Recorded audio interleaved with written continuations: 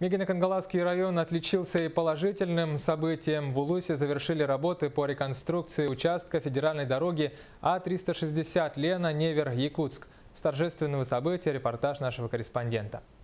Участок реконструирован по нормам третьей технической категории – Участок имеет большую длину и водился он поэтапно. В 2014 году на этом участке были введены 6 километров.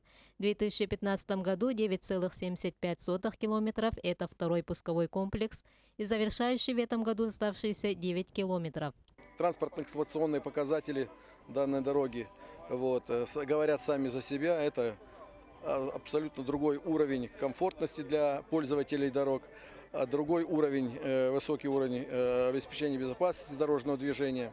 В настоящее время успешно реализуется раздел федеральной целевой программы по реконструкции автомобильной дороги А-360 Лена, которая является составной частью международного транспортного коридора, соединяющего автомобильную дорогу Амур центральными, северными и южными районами Якутии. В случае проявления каких-либо а, скрытых дефектов, да, которые невозможно было установить в процессе строительства объекта, а, подрядная организация, выполнявшая работу, в течение этого гарантийного срока данные дефекты будет устранять.